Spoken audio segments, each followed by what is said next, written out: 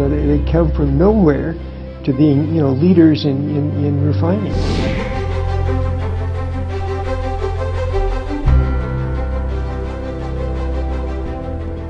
There are over 20 million registered cars in Korea today, about 1.6 cars The number per of household. smartphone users today has reached 55 million, exceeding Korea's. The country's GDP per capita is about $30,000 today, compared to a mere $80 in 1960.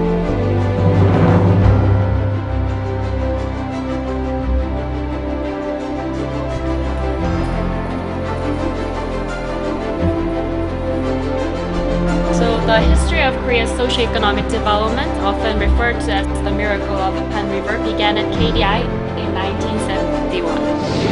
And if you ask some of this, these senior people involved, you know, why did you make the right decisions? Uh, the essence of their reply was, we had no choice. Uh, you know, failure was not an option.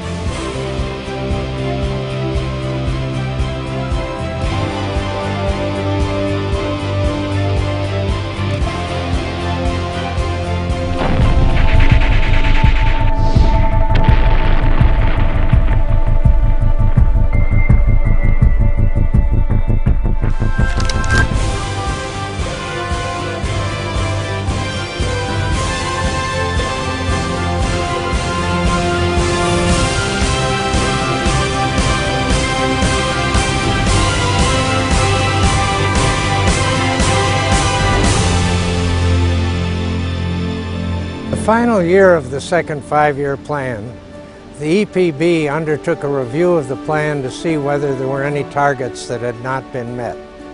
And they found that all of the targets had been exceeded except one, and that was to create an economic policy research institute for the government.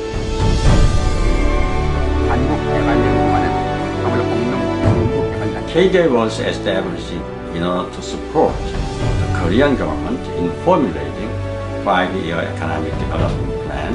KDI has invited a group of economists with a comprehensive understanding of a national economy as well as acute economic insight.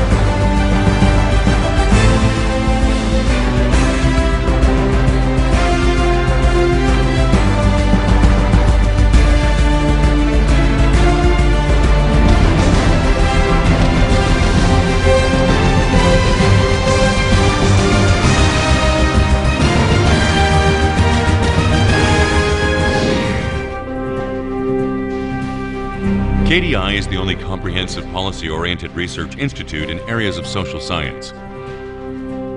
KDI's independent, innovative, and impactful policy recommendations is rooted in the Institute's long tradition of applying rigorous and scientific research methods.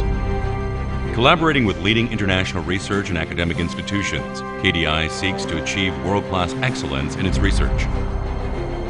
KDI is ranked as one of the top 50 think tanks in the world and also Asia's number one think tank by the University of Pennsylvania. KDI has been advocating the urgent need to address Korea's rapidly aging population and declining birth rate. KDI has been emphasizing the necessity of structural and regulatory reform for sustainable development of the Korean economy that is entering a slow growth phase.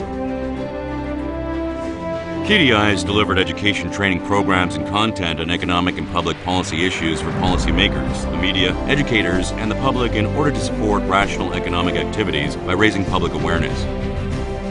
KDI's feasibility studies of investment projects has been estimated to have resulted in more than 6.135 trillion won in cost savings. KDI is engaged with over 50 countries and conducted more than 800 projects as part of its development knowledge sharing program. KDI School of Public Policy and Management fosters the leaders and reformers of tomorrow from around 120 countries.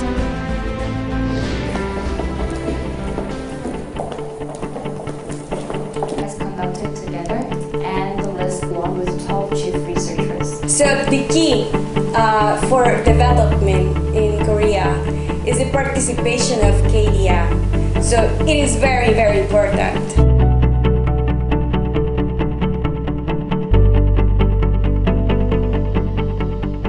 Wow, what I'm learning from KDI is the Korean um, development experience. It's very, very important for my country to emulate this extraordinary experience because it's very crucial for its own socio-economic development.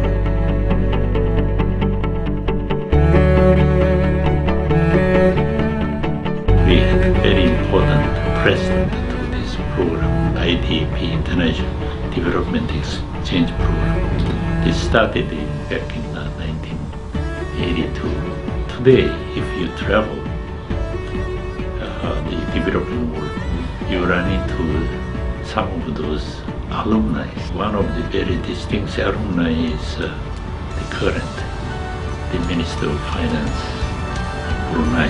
So it's uh, uh, not only a, a, source of lessons learned, but also a source of inspiration and motivation for other countries. It's a platform to address socio-economic problems from local, regional and international areas across the globe. An important contribution that guides the de future development of our country. A Factory of ideas about socio-economic growth. Living lab to practice future policy. Agent of transformation. It's your success story.